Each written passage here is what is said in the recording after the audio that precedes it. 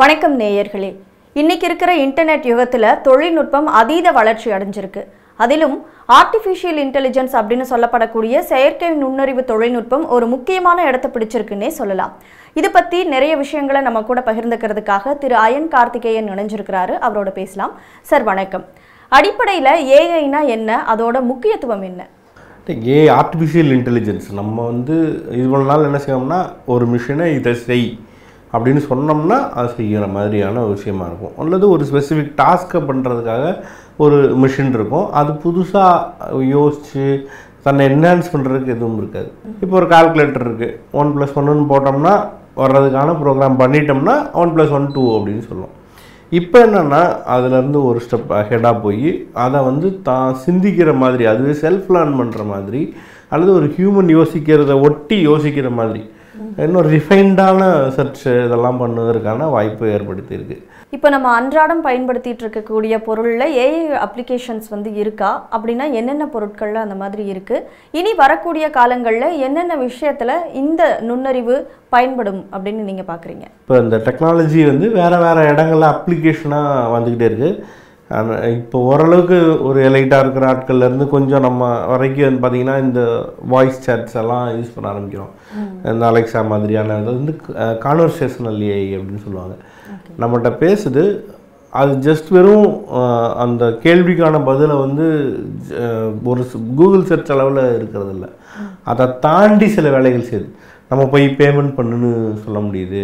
அல்லது வந்து ஒரு ஒரு ஹியூமன் இன்ட்ராக்ட் பண்ணுற மாதிரியான ஒரு இன்ட்ராக்ஷன் மெத்தடை வந்து நம்மளால் பண்ண முடியுது. ஸோ அது வந்து ஒரு ஒரு ஒரு ஸ்டேஜ் ஆஃப் ஏஐ அப்படின்னு நம்ம சொல்லலாம். ஸோ இது மாதிரியான விஷயங்கள் அங்கங்கே வருது. இதை தாண்டி இன்னைக்கு நிறைய டூல்ஸ் நிறைய அப்ளிகேஷன்ஸில் வந்து பார்த்திங்கன்னா குறிப்பாக சாட்போர்ட்டுங்கிறத தான் வந்து அதிகமாக ஏஐ வந்து ஆக்கிரமிக்க ஆரம்பிச்சிருக்கு. ம், இப்போ எந்தெந்த ஃபீல்டுல எல்லாம் இந்த ஏஐயோட அப்ளிகேஷன் ஆகட்டும் அந்த ஃபீச்சர்ஸ் ஆகட்டும் பயன்படுது சார் நிறைய வந்திருக்கு. குறிப்பாக நீங்கள் இப்போ இந்த ஃபோட்டோஷாப் மாதிரியான விஷயங்கள்லேயே பார்த்தீங்கன்னா அவங்களே ஒரு பீட்டா வெர்ஷன் கொண்டு வந்திருக்காங்க. அதே மாதிரி ப்ரீமியர் ப்ரோவில் வந்து பீட்டா வெர்ஷன் வந்துருச்சு. அதாவது ஒரு ஃபோட்டோவை எடிட் பண்ணணும் அல்லது ஒரு வீடியோவை எடிட் பண்ணணும் அப்படின்னா அங்கே வந்து இதோட அப்ளிகேஷன் வந்து ஸ்டார்ட் ஆயிருச்சு. அடுத்து ஒரு ஏதாவது ஒரு வணிக நிறுவனத்தோட நீங்கள் வந்து சேட் பண்ணுறீங்க அப்படின்னா அங்கே ஒரு ஒரு மனுஷன் உட்காந்து பதில் சொல்கிறதுக்கு பதிலாக ஏஐ அதை புரிஞ்சுக்கிட்டு இவர் அடுத்து என்ன கேட்பாரு?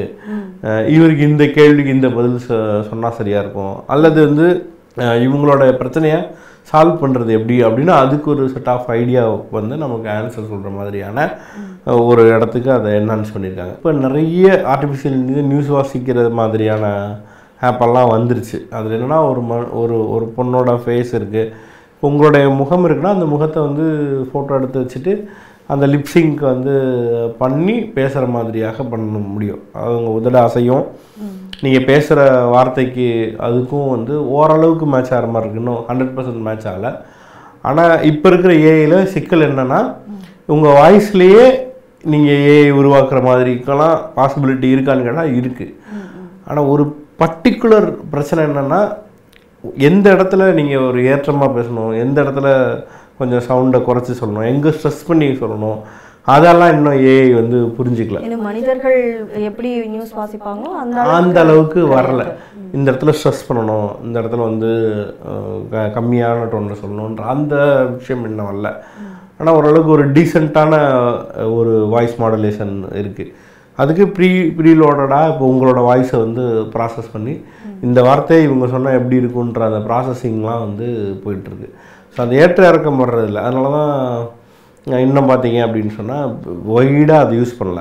குறிப்பாக இதோட தாக்கம் எப்படி இருக்குன்னு பார்க்குறீங்க சார் ஏன்னா சமூக ஊடகங்களை நம்ம எடுத்தாவே ஏஐ மூலமாக எடிட் பண்ண ஆப்ஸ்லாம் நிறைய இருக்குது அதே மாதிரி அது மூலமாக வெளியே வந்த நிறைய ஃபோட்டோஸ் வீடியோஸ் எல்லாமே அதிகமாக நமக்கு கிடைக்குது. இப்போ வந்து இது ஒரு ஃபேண்டசி மாதிரி ஆயிடுச்சு இப்போ இருக்கிற ஜென்ரேஷனுக்கு ஸோ இதோட தாக்கம் இனிமேல் எப்படி இருக்கும்னு நீங்கள் பார்க்குறீங்க ரெண்டு பக்கமும் இருக்கும். பாசிட்டிவான நிறைய விஷயங்கள் நடக்கும்.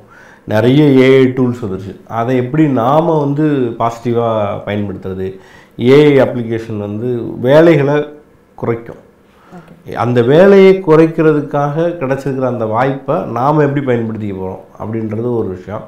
இன்னொரு பக்கம் அதனால வர்ற தீமைகள். இப்போ நீங்கள் இன்டர்நெட்னால நன்மையும் இருக்குது தீமையும் இருக்குது இன்டர்நெட் நிறைய தகவல் திருட்டு நடக்குது அல்லது இணைய குற்றங்கள் நடக்குது அப்படின்னு சொல்கிறது போல் ஏஐனால வந்து நிறைய இணைய குற்றங்கள் இப்போ வாய்ஸை வந்து பயன்படுத்தி நிறைய சிக்கல்கள் வரும். வீடியோஸ் வந்து ஒருத்தர் பேசாத பேசுனதாக உருவாக்கிடுவாங்க. வெளிநாடுகளில் ஏற்கனவே ஒரு பெரிய தலைவர்களுடைய வீடியோக்கள்லாம் வந்தது. அதுக்கு அடுத்த ஸ்டேஜாக இப்போ அது அது அது இன்னும் ரிஃபைன்ட் ஆக ஆக ஆக சிக்கல் வரும். இப்போ முன்னாடி இருந்ததுக்கும் இதுக்கு என்ன வித்தியாசம் அப்படின்னா ஃபோட்டோஷாப்பில் ஒரு நடிகையுடைய புகைப்படத்தை மோசமாக சித்தரித்து வெளியிடுவாங்க. அல்லது யாரோ ஒரு நபருடைய புகைப்படத்தை மோசமாக சித்தரித்து வெளியிடுவாங்க. அப்படி சித்தரிக்கணும்னா ஒரு மனுஷனுடைய ஒர்க் ஹவர்ஸ் அதில் வேணும். அதை வந்து அந்த ஃபோட்டோஷாப் தெரியாத அளவுக்கு ஒரிஜினலாக இருக்குமோ அப்படின்னு எடிட் பண்ணுறான் அப்படின்னா அதுக்கு ஒரு மனுஷன் போய் உட்காந்து அதை வந்து கரெக்டாக அந்த ஃபோட்டோஷாப்போட கலர் மேட்சிங்லேருந்து எல்லாமே பண்ணி ஒரு ஒரு டைம் எடுக்கும். இப்போ என்ன ஆகுது அப்படின்னு சொன்னால் இந்த ஆட்டோமேட்டடான ஒர்க் இதில் வந்து நீங்கள் ரொம்ப அதிக நேரம் எடுத்துக்காது. அந்த ஏஐ என்ன பண்ணுன்னா இப்போ நம்ம ஒரு ஒரு ஃபோட்டோவில் வேற ஒரு இடத்துல எடுக்கப்பட்ட ஃபோட்டோவையும் இன்னொரு ஃபோட்டோவையும் மெர்ச் பண்ணுறோம் அப்படின்னா அதோடைய லைட்டிங் அதோடைய அந்த கிளைமேட்டு அதோட கலர் சென்ஸு இதையெல்லாம் நாம் வந்து இதோட இந்த ரெண்டு ஃபோட்டோவையும் மேட்ச் பண்ணுறதுக்காக எடிட்டர்ஸ் ஒர்க் பண்ணுவாங்க. இது எதுவுமே வந்து ஏஐயில் வந்து தேவை கிடையாது. அதுவே வந்து அது- இந்த லைட் இந்த லைட் மூடில் இது இருக்குது இந்த கலர் சென்ஸில் இருக்குது இது பண்ணால் இது மேட்ச் ஆகும். அப்படியே நல்லா தெரியும். அதாவது வந்து ஒரிஜினல் போல் இருக்கும் அப்படின்றத வந்து செல்ஃப் லேர்ன் பண்ணி வச்சுருக்கோம் அது. அதை வந்து ஒரு குறிப்பிட்ட டைமில் ரொம்ப குறுகிய நேரத்தில் பண்ணிட முடியும். ஒன்றும் இல்லை இப்போ இதையே பாசிட்டிவாகவும் பண்ண முடியும். இப்போ என்னோட தலை வந்து இது வரைக்கும் தெரியுற மாதிரி ஒரு ஃபோட்டோ எடுத்துட்டீங்க. எனக்கு இதுக்கு மேலே தலை தெரியல. எனக்கு ஆனால் தெரியணும்னு நினைக்கிறீங்கன்னு வைங்க. ஏஐயில் ஒரு ஒரு சின்ன ஒரு கமெண்ட் கொடுத்தீங்கன்னா அந்த தலையில் நீங்கள் விடுபட்ட பகுதியை அது நிரப்பிடும் சாதாரண சின்ன குற்றம் வந்து ஈஸியாக பண்ணுறாங்க ஒரு பேசிக் சென்ஸ் பென்சில் கம்பெனியில் பென்சில் தயாரித்து உங்ககிட்ட கொண்டு வந்து டப்பாவில் போட்டு வாங்க போகிறது கிடையாது. ஆனால் அப்படி ஒரு வேலை இருக்குன்னு நம்புகிறாங்க இது ஒரு சாதாரண ஒரு பொய். இதுக்கே சிக்கல் இருக்குது அப்படின்னா இப்போ ஏஐ மாதிரியான குற்றங்களை முதல்ல ஏஐ என்ன செய்யும் அப்படின்னு தெரிஞ்சுக்கிறதே கஷ்டம். நீங்கள் பாஜகவில் இருந்து பார்த்தீங்க அப்படின்னா இப்போ ரீசெண்டாக ஒரு சின்ன ஒரு வேலை செஞ்சாங்க. இந்த மல்யுத்த வீரர்கள் போராடுறாங்க. போராடினதுக்கு பிறகு கைது செய்யப்பட்டு கூட்டிகிட்டு போகும்போது அவங்க சிரிச்சுக்கிட்டே செல்ஃபி எடுத்தாங்க அப்படின்னு சொல்லி ஒரு சர்ச்சை வந்து வந்துச்சு. அப்போ வெகு மக்கள் பார்த்தா எப்படி இருக்கும்? என்ன இந்த பொண்ணுங்க வந்து இவ்வளோ போராடிட்டு சிரிக்கிறாங்க? எப்படி அவ்வளோ சந்தோஷமாக சிரிச்சிட்டு முகத்தில் வந்து இப்படி ஒரு ஃபோட்டோ எடுத்துகிட்டு போக முடியும் அப்படின்ற ஒரு கேள்வி இருக்கும். இதுக்கு பின்னால் என்ன நடந்துச்சு அப்படின்னா ஒரு ஃபேஸ் ஆப் அப்படின்னு ஒரு சாதாரண ஆப் அது. பயங்கர ஒரு பெரிய ஆப்பெல்லாம் கிடையாது. பெய்டு ஆப் கூட கிடையாது. ஃப்ரீ ஃப்ரீ டூல் அது மூலமாக அந்த பொண்ணு சிரிச்ச மாதிரி இருக்குது அதை பார்த்தீங்கன்னா ஒரு ஒரு ஒரு ஃபோட்டோஷாப் மாதிரியோ ஒரு ஆப் யூஸ் பண்ணி சிரிச்ச மாதிரி இருக்காது. இயல்பாக அந்த பொண்ணுக்கு உதடுகள் இருந்தால் எப்படி இருக்கும் பற்கள் இருந்தால் எப்படி இருக்கும்ன்ற மாதிரி அதால் அதை வந்து மேட்ச் பண்ண முடியுது. அது ஒரு மேக்ஸிமம் ஆஃப் ஒரு ஒரு ஒன் மினிட்ல நீங்கள் வந்து அதை பண்ணிட முடியும்.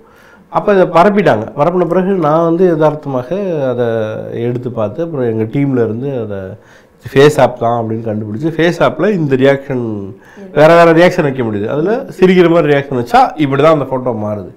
எக்ஸாக்டாக இப்படி தான் மாறுதுன்றதை கண்டுபிடிச்சி எடுத்து போனோம்.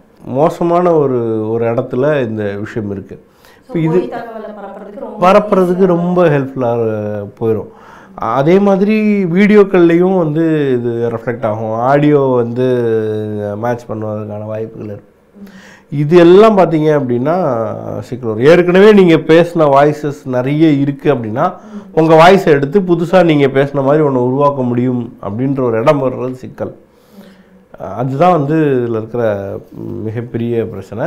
மு- மிச்ச விஷயங்களை விட இது ஃபாஸ்ட்டாக இருக்கிறது எளிமையாக இருக்கிறது சிக்கல். ஆமாம் நீங்கள் சொன்னீங்க ஈஸியாக வந்து ஃப்ரீயாக கிடைக்குது இந்த ஆப்பெல்லாம் அப்படிங்கும்போது நிறைய பேர் கோடிக்கணக்கானவர்கள் யூஸ் பண்ணிட்டு இருக்காங்க வருங்காலத்தில் வந்துட்டு இதனால் மனிதர்களுக்கு வந்து ரொம்ப ப்ராப்ளமாக இருக்கும். அந்த செயற்கை நுண்ணறிவு இருக்கக்கூடிய அந்த மெஷின்ஸ் வந்து மனிதர்களை ஆளக்கூடிய பிரச்சனைகள் கூட வர்றதுக்கு வாய்ப்பு இருக்குது அப்படிங்கிற மாதிரியெல்லாம் சொல்லியிருக்காங்க. இது நீங்கள் எப்படி பார்க்குறீங்க? அதுக்கான சாத்தியம் இருக்கா? அதுவால் என்ன செய்ய முடியும்? அது தன்னை என்ஹான்ஸ் பண்ணிக்கிற இடத்துல இருந்து யோசிக்க வேண்டியது இருக்குது ஆனால் ஃபஸ்ட் அது என்னவாக க்ரியேட் பண்ணப்படுது? அதோடைய பேசிக் அப்ளிகேஷன் என்னன்றதை வச்சு தான் நம்ம பார்க்க முடியும். இதோடைய யூசேஜ் பார்த்தீங்க அப்படின்னா இப்போ ரொம்ப இப்போ ஒரு சின்ன ஒரு ஒரு கு- கிணறுல வந்து ஒரு குழந்தை மாட்டிக்கிச்சு. இப்போ நீங்கள் ஒரு ஒரு ஏஐ வந்து அனுப்புகிறீங்க அப்படின்னா அந்த குழந்தைய எந்த எந்த வெயிட்டில் பிடிக்கணும்? அப்படின்னா கீழே விழாது. அதே நேரத்தில் அந்த குழந்தைக்கு வந்து கை ஒழியாமல் தூக்கணும்னு ஒரு ஒரு ஒரு ஒரு ஒரு மனுஷன் போனால் எப்படி லிஃப்ட் பண்ணோன்னா அப்படி லிஃப்ட் பண்ண வைக்கிறதுக்காக அந்த மெஷின் லேர்னிங் உள்ள ஒரு ரோபோட்டை தயாரிச்சாங்க அப்படின்னா அது தன்னை வந்து இவ்வளோ சுருக்கிக்கணும் இப்படி தூக்கணும் அப்படின்ற ஒரு ஒரு ஒரு அப்ளிகேஷனாக ஹெல்ப்ஃபுல்லாக இருக்கும். இந்த அப்ளிகேஷன் தன்னை செல்ஃப் லேர்ன் பண்ணிக்கிட்டு அதை ஹார்ம் பண்ணக்கூடாதுங்கிற ப்ராப்பர் ரூல்ஸோடு இருக்கும்போது அது ப்ராப்பராக ஒர்க் ஆகும். இதில் ஏதாவது சிக்கல் வரும் அப்படின்னு சொன்னால் தன்னை கற்றுக்கிறதுனால எந்த இடத்துல இந்த அப்ளிகேஷனுக்கான ப்ராப்பர் ரூல் இருக்கோ அந்த ரூல் புக்குக்குள்ளே இருந்து தான் அதால் பண்ண முடியும்.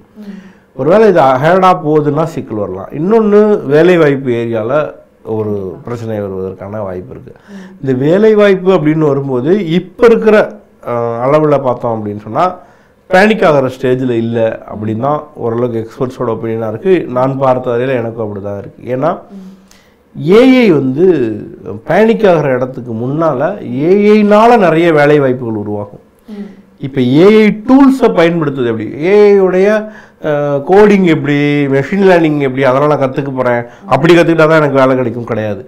ஏஐ நிறைய டூல்ஸை கொடுத்துருக்கு. இப்போ ஃபோட்டோஷாப்லேயே பார்த்தீங்கன்னா ஃபயர் ப்ளை ஃபயர் ஃப்ளைன்னு ஒன்று கொடுத்துருக்காங்க.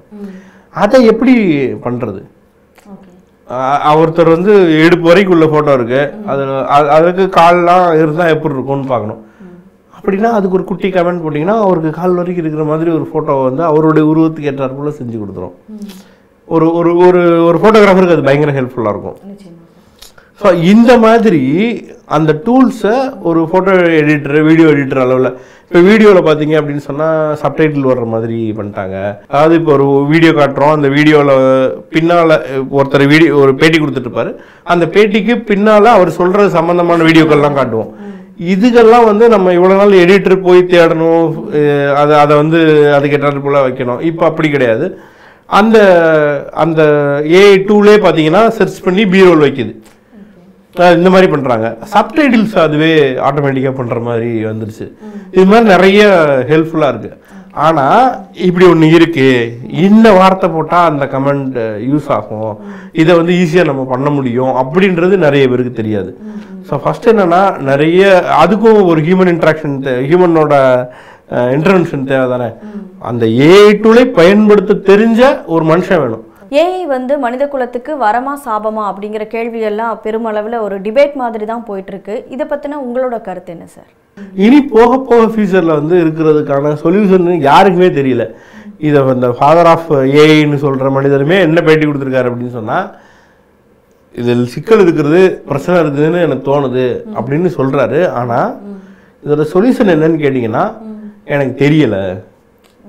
We need to control this இந்த இந்த ரிசர்ச்சே ஸ்டாப் பண்ணணும். இப்படியான விஷயங்கள்லாம் வந்து பேசுகிறாங்க ஆனால் இது எப்படி கவுண்டர் மெஷர் என்ன? இது எந்த இடத்துல பிரேக் அடிக்கணும் அப்படின்னு யாருக்குமே தெரில எல்லாருமே பலாயிரம் கோடி இன்வெஸ்ட் பண்ணியிருக்காங்க. தனித்தனியாக இதுக்கப்புறம் இதுக்கு பாஸ் பட்டன் இருக்குன்னு நான் நம்பலை. கார்பரேட் நிறுவனம் தனக்கான ஒரு ரிசர்ச்சில் செலவு பண்ணிருச்சுன்னா அதுலேருந்து அவுட்கம் பார்க்க தான் பார்க்குமே தவிர அவங்க போய் இதை நிறுத்திடுவாங்கன்னு நான் நம்பலை. இந்த உலகம் நல்லா இருக்கட்டும் இல்லை வேலைவாய்ப்பு பறி போயிடும் அப்படி நினச்சி அவங்க பண்ண போகிறதில்ல நம்ம காலத்தோடு ஓடுறது தான் சரியாக இருக்கும். நீங்கள் வந்து அப்டேஷன் ஆகாத மனிதன் வந்து சிக்கலில் மாட்டிக்குவான். ஸோ அது மாதிரி இன்றைக்கி இருக்கிற லேட்டஸ்ட் டெக்னாலஜி ஏஐ இதோட டூல்ஸ் என்ன அதோட பெனிஃபிட்ஸ் என்ன எந்த டூல் நல்லா இருக்கும் அந்த டூலை எப்படி நம்ம வேலைக்கு என்- பயன்படுத்திக்க முடியும்? ஒரு ரெண்டாயிரம் பக்கம் டேட்டா இருக்குது அதுலேருந்து உங்களுக்கு ஒரு குறிப்பிட்ட அளவில் நீங்கள் பிரித்து படிக்கணும்னு நினைக்கிறீங்கன்னா அதுக்கு இந்த ஏஐ ஹெல்ப் பண்ணும். ஒரு இந்த இந்த டாக்குமெண்ட்டில் எனக்கு ஒரு இதை ஒரு ஒரு குட்டி அறிக்கையாக ஒரு நாலு பக்கத்தில் கொடு அப்படின்னு சொன்னால் அது எடுத்து கொடுத்துரும். அப்படி ஒரு பத்திரிக்கையாளர் தன்னை வந்து படிக்கணும் ஒரு புக்கு இருக்குது அந்த புக்கை ஃபுல்லாக என்னால் படிக்க முடியாது. எனக்கு இதோடைய ஒரு சின்ன வெர்ஷன் கொடு. ஒரு பத்து பக்கத்தில் இதோட மொத்த எசன்ஸையும் எனக்கு மாற்றி கொடு அப்படின்னு சொன்னால் அது கொடுக்கும். அதை நம்ம படிச்சுக்கலாம். இப்படி நாம் வந்து நம்மளை எப்படி என்ரிச் பண்ணிக்கிறதுங்கிறத இந்த டூல்ஸ் மூலமாக இந்த சாட் ஜிபிடி மாதிரியான விஷயங்கள் மூலமாக கற்றுக்கலாம் இதில் ஏகப்பட்ட லிமிடேஷன்ஸ் இருக்குது அதில் வர்றது எல்லாமே அப்படியே கரெக்டாக இருக்கும் அப்படின்ற மாதிரியான நிலைமையில ஏக ஏகப்பட்ட பிரச்சனைகளையும் அது எதிர்கொண்டுட்டு இருக்கு. பட் அஸ் முன்னாடி நான் சொன்ன மாதிரி இது செல்ஃப் லேர்னிங்ன்ற ஒரு மெத்தட் இருக்கிறனால தன்னை வந்து என்ஹான்ஸ் பண்ணிகிட்டே இருக்கும். அதன் மூலமாக இன்னும் போக போக இது இன்னும் இன்ட்ரெஸ்டிங்காக மாறும். ஓகே சார் அப்போது நம்ம கிட்ட கண்ட்ரோல் இருக்கிற வரைக்கும் ஏஐ பண்படு பயன்படுத்துறதுல பிரச்சனை இருக்காது. அது கையில் ஃபுல் கண்ட்ரோல் போகும்போது தான் நமக்கான பிரச்சனைகள் அப்படிங்கிறது உருவாகும் அப்படின்னு இதை பார்க்கலாமா? நிச்சயமா அப்படிதான். நீங்க அதை உருவாக்குறவங்களுடைய நோக்கம் என்ன? அதுக்கு என்ன மாதிரியான பவர்ஸ் கொடுக்குறாங்க? இப்போ ஒரு ரோபோட் வந்து மிஸ்லீட் பண்ணிரும். வேற ஏதாவது தப்பா பிஹேவ் பண்ணிரும். அஹ் மனுஷனை தாண்டி யோசிச்சு அது வேலைகள் செய்ய ஆரம்பிச்சிடும் அப்படின்னு சொன்னா அதுக்கு ஹார்ட்வேராக எந்த அளவுக்கு நம்ம வந்து எக்யூப் பண்ணியிருக்கோம் அதோடைய வேலைகள் என்னன்னு நம்ம டிஃபைன் பண்ணியிருக்கோம் அதோடைய யோசனை வந்து நம்மளை எங்கே கொண்டு போய் சேர்க்கும்ன்றத இப்படி கவுண்டர் பண்ண முடியும். அந்த மாதிரி எப்படி அவங்க அதை டிசைன் பண்ணுறாங்கன்றதை பொறுத்து தான் இருக்குன்னு நினைக்கிறேன். நிச்சயமா சார் ஏஐ தொடர்பான பல்வேறு விஷயங்களை எங்களோட பகிர்ந்துக்கிட்டீங்க ரொம்ப நன்றி சார்